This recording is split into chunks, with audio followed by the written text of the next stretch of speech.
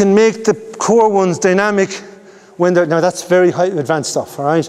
What about going from the plank going, going Yeah, good. Is there anything else like that you use? Just show that, that's a nice one, in Mark. Anything else like that is good. plank just going? Yeah. The only thing about it is whatever we're doing, we're very stable. So if they're all over the place, they're not strong enough to be doing it, go back to where you were earlier. Any other ones like that did you use? Sorry? Just look at the barrier. Now hold it there. Now walk away with your hands. Walk, walk, keep walking. And hold. And walk back in.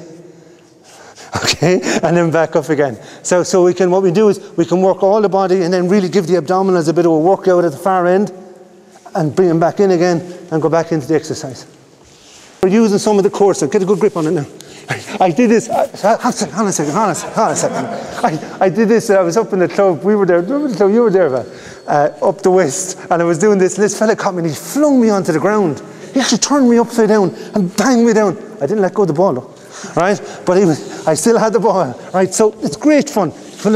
Now, if you want to get a bit more control, you can kneel down so they don't fall. Grab it again. But that's using your core. And we won't kneel down though, because it's ground hard.